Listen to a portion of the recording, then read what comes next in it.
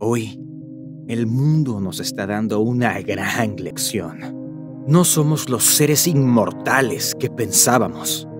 Nuestro derecho a hacer del planeta lo que queremos se nos ha revocado.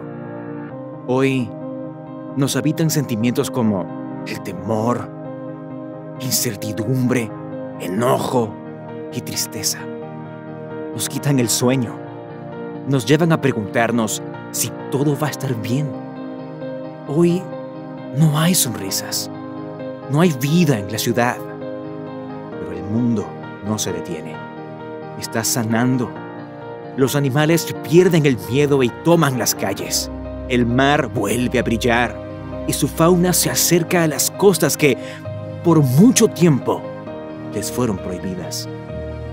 La capa de ozono se encuentra en su mejor estado en más de 60 años. La contaminación ya no es una nata que asfixia nuestros pulmones. Hoy la Tierra encuentra su balance. Esta crisis nos ha enseñado lo vulnerables que somos. Aquí no existe el rico o el pobre. A todos los despedimos por igual. Hoy, un saludo puede ser el último.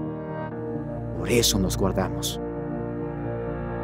Y queremos dar gracias a aquellas personas que ponen en riesgo su vida cada día por lograr un cambio. Médicos, enfermeras, transportistas y todos aquellos que nos mantienen a salvo. De ellos es la victoria, de ellos el agradecimiento y con ellos viaja nuestra esperanza. Esa esperanza que se mantendrá viva hasta el momento en que por primera vez se anuncie que podemos salir a las calles, que podemos volver a nuestros trabajos, a las escuelas, a que simplemente podremos volver a abrazarnos. Y ahí, una nueva oportunidad para hacer las cosas de forma distinta se nos va a presentar. Ahora, la pregunta es, ¿habremos aprendido esta gran lección? ¿Seremos más humanos los unos con los otros? ¿Valoraremos el tiempo que tenemos? ¿Regalaremos esos minutos que hoy nos sobran y que no podemos dar? ¿O regresaremos a vivir en estrés y a ver pasar nuestra vida frente a un ordenador bajo una luz de día en una fría oficina? El mensaje es muy claro. La vida es solo una y debemos vivirla al máximo. La economía se va a reactivar, los negocios volverán a abrir sus puertas, habrá trabajo y la comida no faltará en la mesa. Pero te pregunto, ¿te vas a atrever a dar vida a esa gran idea? ¿Comenzarás una nueva aventura? ¿Crearás productos que cambien la forma en que vivimos?